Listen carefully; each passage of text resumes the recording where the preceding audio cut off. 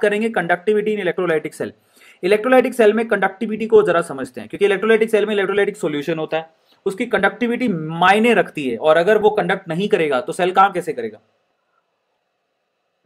तो जो आपने सॉल्यूशन डाल के रखा है, उसकी कंडक्टिविटी की बात करते हैं। सबसे पहले तो आप लोग मुझे बताओ कि रेजिस्टेंस को कैसे लिखते हो। That is resistance is equal to resistivity L by A ऐसे लिखते हो। तो कंडक्टिविटी जो कंडक्टेंस होती है बेसिकली वो रेजिस्टेंस के जस्ट अपोजिट होती है। आया समझ में? तो मैं अगर वन बाई आर कर दूँ तो ये किसके बराबर निकलेगा? वन अपॉन रो, और साथ में होगा A by L. One upon rho को बेटा कप्पा बोलते हैं। इसी को कंडक्टिविटी कहा जाता है। रजिस्टिविटी का जस्ट उल्टा कंडक्टिविटी होता है। और यहाँ पर एल बाई ए को बेसिकली सेल कांस्टेंट बोलते हैं। एक्स होता है वो। तो उसको थोड़ा डिटेल में पढ़ते हैं। तो सबसे पहले तो आपको पता होना चाहिए के ये फॉर्मूला बहुत इंपॉर्टेंट है। जो मैं आपको अभी निकाल के भी दिखा चुका हूँ। मैंने आपसे क्या कहा था? अब जरा सोचो।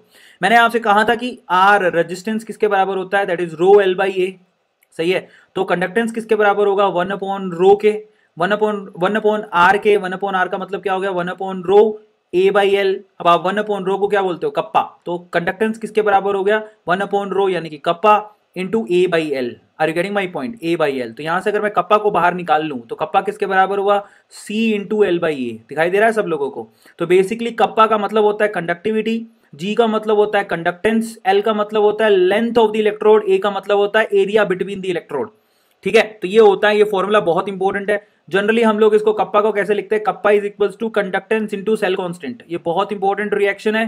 इक्वेशन है जो आप लोगों को ध्यान रखनी है ठीक है? चलिए अब हम चलते हैं आगे। So kappa one upon rho होता है जिसको हम लोग कंडक्टिविटी भी कहते हैं और ये बहुत इंपॉर्टेंट है इसको स्पेसिफिक कंडक्टिविटी भी कहते हैं। अगर कोई पूछे कि कप्पा का प्योर डेफिनेशन क्या है kappa is the conductance of लिख लो काम आएगा kappa is the conductance of सब बोलो सारे बोलो जय माता दी प्रेम से बोलो जय माता दी। कई लोग मुझे सर अचानक से आपको क्या हो गया? तो आ, जल ही जीवन है। कपा का मतलब होता है conductance of one M L solution लिख लो, काम आएगा. Conductance of one M L solution उसको कप्पा कहा जाता है. कई बच्चों को नहीं पता. एक एम एल सोल्यूशन के कंडक्टेंस को कप्पा कहा जाता है, ठीक है? चलो, और इसकी यूनिट क्या होती है? मो सेंटीमीटर महो सेंटीमीटर इनवर्स होती है, वो ऊपर से भी आप निकाल सकते हो. अब हम बात करते हैं factor affecting ionic conductance ionic conductance को कौन कौन से फैक्टर अफेक्ट करते हैं? तो सबसे पहले तो स्ट्रॉन्ग इलेक्ट्रोलाइट अगर इलेक्ट्रोलाइट स्ट्रॉन्ग होएगा तो उसका डिसोसिएशन ज़्यादा होगा. और उसकी कंडक्टिविटी भी ज़्यादा होगी। जैसे NaCl के केस में आपको पता है स्ट्रॉन्ग इलेक्ट्रोलाइट है, एक सोल्ट है, जो प्लस और Cl माइनस में कन्वर्ट हो जाएगा तो उसकी कंडक्टिविटी भी ज़्यादा होगी। अगर आप यही काम एजीसीएल में देखोगे तो एजीसीएल स्पेरिंगली सोल्यूबल होता है, जिसमें Ag प्लस और Cl माइनस बहुत रेयरली कन्वर्ट होता है। ये एक वीक इलेक्ट्रोलाइट है। इस केस में आपकी कंडक्टिविटी कम होगी ठीक है? तो NaCl के केस में ज़्यादा होगी एजीसीएल के केस में कम होगी, क्योंकि AgCl स्पेरिंगली सोल्यूबल होता है। दूसरा साइज़ पे भी डिपेंड करता है कंडक्टिविटी अब देखो यहाँ पर कंडक्टिविटी जो है, वो साइज़ पे भी डिपेंड करती है, ये भी बड़ा इंटरेस्टिंग है। तो देखो यहाँ पर जरा आप चेक करो यहाँ पर। यहाँ पर क्या मतलब निकलता है? जरा आप उसको चेक कर रहे हैं मेरे भाई को क्या हो गया? हाँ तो फाइनली क्या है यार? यहाँ पर अपने आप चलते चलते चीज़ें बंद हो जाती हैं। है? ओके मिट्टी के रंग। चलो तो फाइनली अब क्या सीन है? जरा आप चेक करो। देखो साइज़ ऑफ़ आयन पे भी डिपेंड करता है। Smaller ion lesser hindrance hence better mobility अगर आयन जितना छोटा होगा, उसको विचरण करने में आसानी होगी। देखो, आप सिंपल सी बात है। मैं आपसे कहूँ कि आप आप मान लो कि ना, आप दिल्ली में रहते हो। कहाँ रहते हो? दिल्ली में।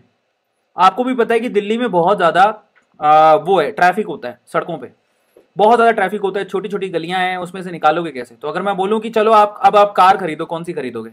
तो अगर छोटी छोटी गलियों में से अगर आप लोग कार निकालनी है तो आप जरा सोचोगे ना, आप ये थोड़ी सोचोगे, मैं चलो लेम्बोगिनी खरीदूँगा, मैं फरारी खरीदूँगा तो छोटी छोटी गलियों से निकालूँगा। आप कहोगे, सर, मैं नैनो खरीदूँगा। छोटी छोटी गलियों से, मान लो चांदनी चौक से निकालना है तो नैनो आसानी से निकल जाएगी। क्या फरारी निकल पाएगी? नहीं। तो बेसिकली यहाँ पर सीन क्या है? सीन जितना छोटा आयन होगा, वो आसानी से क्या कर पाएगा? ये इंडिया है भाई साहब इधर उधर चल पाएगा। समझ में आ गया? तो बेसिकली यहाँ पर H प्लस की जो कंडक्टिविटी होती है वो ज़्यादा होती है साइज़ छोटा होता है और Na प्लस की कंडक्टिविटी कम होती है। फिर उसके बाद आता है नेचर ऑफ़ सॉल्वेंट ठीक है? Highly viscous solvent show greater electrical resistivity अगर कोई किसी सॉल्वेंट की विस्कोसिटी ज़्यादा होती है तो वो आयन को हिलने थोड़ी देगा। अब मैं आपसे कहूँ कि भैया, एक कंटेनर में मान लो पानी भर के रखा है, दूसरे कंटेनर में शहद भर के रखा है। और जो शहद होता है, वो उसकी बहुत ही कंडक्टिविटी लो होती है। क्यों? बहुत ज़्यादा गाढ़ा होता है। गाढ़ा का मतलब उसकी विस्कोसिटी बहुत ज़्यादा होती है। तो वो आयन को ग्रैब कर लेगा। यार, आपको मैं बोलूँ कि आप पानी में तैर पाओगे कि शहद में? जरा सोचो, आप खुद एक आयन हो, है ना? और मैं आपको ना एक दो तालाब दूँ। एक तालाब में पानी भरा हुआ है और दूसरे तालाब में शहद भरा हुआ है। ठीक है? शहद। आप बताओ कौन से तालाब में आसानी से तैर लोगे? बताओ मुझे, ईमानदारी से बोलना, झूठ मत बोलना।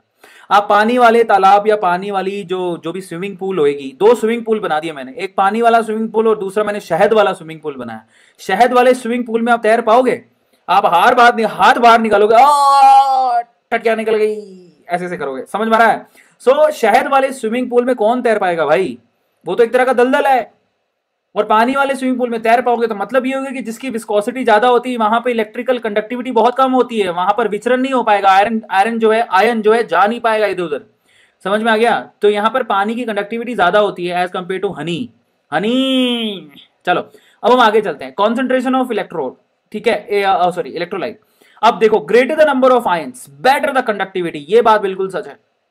जितने आयन ज़्यादा होंगे, उसकी कंडक्टिविटी उतनी ज़्यादा होगी। मतलब अगर बोलूँगी two M two capital M NaCl solution है, वो ज़्यादा कंडक्टिविटी शो करेगा one capital M NaCl solution और ऑब्वियसली यार, दो कैपिटल एम का मतलब एन प्लस भी दो होंगे सीएल माइनस भी दो होंगे। इनकी मात्रा ज़्यादा है भगम भगड़ाई ज़्यादा होगी। सिंपल सी बात है। समझ में आ गया? तो ये रीजन होता है। अब लास्ट है टेम्परेचर टेम्परेचर बढ़ाने पर हमेशा आयनी कंडक्टिविटी इंक्रीज ही होती है तो सबको पता है कि टेम्परेचर बढ़ाओगे तो कंडक्टिविटी बढ़ती है तो नॉर्मल बात है, सबको पता है। ठीक है? अरे टेम्परेचर बढ़ाओगे कंडक्टिविटी बढ़ेगी। देखो, इसका सिंपल एग्ज़ाम्पल देता हूँ मैं आप लोगों को। आपने कभी पॉपकॉर्न को, जिसको फुल्ले बोलते हैं पंजाबी में पॉपकॉर्न को उछलते देखा है? किस, किसने पॉपकॉर्न की मशीन में पॉपकॉर्न को उछलते देखा? बताओ मुझे। पॉपकॉर्न पड़ा होता है, नीचे से आप उसको तत्ता ताता कर रहे होते हो टेम्परेचर बढ़ा रहे होते हो, वो उछलता है, टप टप टप किसको, आपको पता है कि पॉपकॉर्न उछलता क्यों है? नीचे से टेम्परेचर बढ़ाओगे तो आप भी उछल पड़ोगे। कल को मान लो आपको ना, आप आप ना अपनी गर्लफ्रेंड से बात करते करते ना किचन में उसकी गर्लफ्रेंड के तवे पे बैठ गए। आपको मालूम नहीं पड़ा काला काला तवा था, तवा बहुत बड़ा था, आप बैठ गए उसके ऊपर। है ना? बात करते करते आपको होश नहीं रहा। पीछे से उसकी मम्मी आई, उसने नोब घुमा दी। और नोब घुमा दी वो और आपका जो तवा है वो ताता होने लग गया। अब तवा जब गर्म होगा तो आप उछल पड़ोगे, ऐसे थोड़ी बैठे रहोगे, मैं तेरा आशिक इस तवे पे आज पिघल जाऊँगा, ऐसे थोड़ी बोलोगे। सो इन दैट केस क्या है टेम्परेचर हमेशा क्या करता है बेसिकली कंडक्टिविटी को बढ़ाता है। समझ में आ गया? मतलब एक स्पीड पैदा करता है। That's very simple so temperature से कंडक्टिविटी बढ़ती है। अब हम बात करते हैं मोलर कंडक्टिविटी की। तो देखो, आप सीधे फॉर्मुले पे गौर करो। मोलर कंडक्टिविटी का मतलब होता है the conductivity of one capital M one molar solution उसको मोलर कंडक्टिविटी कहते हैं। उसका फॉर्मुला कैसे निकालोगे? कैप एम का फॉर्मुला होता है थाउज़ेंड इंटू कप्पा कप्पा क्या है? Conductivity upon capital M capital M क्या है बेटा? दैट इज़ कॉन्सेंट्रेशन तो आप लोग याद रखिएगा बहुत इंपॉर्टेंट है और इसकी यूनिट होती है siemens centimetre square mole inverse that is the unit ये फॉर्मुला बहुत इंपॉर्टेंट है। थाउज़ेंड इंटू कंडक्टिविटी यानी कि kappa divide by capital M जिसका मतलब होता है कॉन्सेंट्रेशन तो कप्पा जो है ना, उसको centimetre siemens centimetre square siemens centimetre में ही रखना पड़ता है और मोलारिटी को मोल पर लीटर में रखना पड़ता है। ये आप ध्यान रखो, अगर मोलर कंडक्टिविटी की बात बात बात हम करेंगे इक्विवेलेंट कंडक्टिविटी की तो उसमें कुछ नहीं करना मोलारिटी की जगह आपको सिर्फ़ नॉर्मेलिटी एंटर करनी है और कुछ नहीं सिंपल है। Thousand into kappa divide by capital N अच्छा कैपिटल एन और कैपिटल एम में क्या रिलेशन होता? है that normality is equal to molarity into N factor अगर आप लोगों को एन फैक्टर निकालनी आती है तो आप आसानी से आप क्या कर सकते हो फॉर्मुले का यूज़ करके इक्विवेलेंट कंडक्टेंस भी निकाल सकते हो। ठीक है?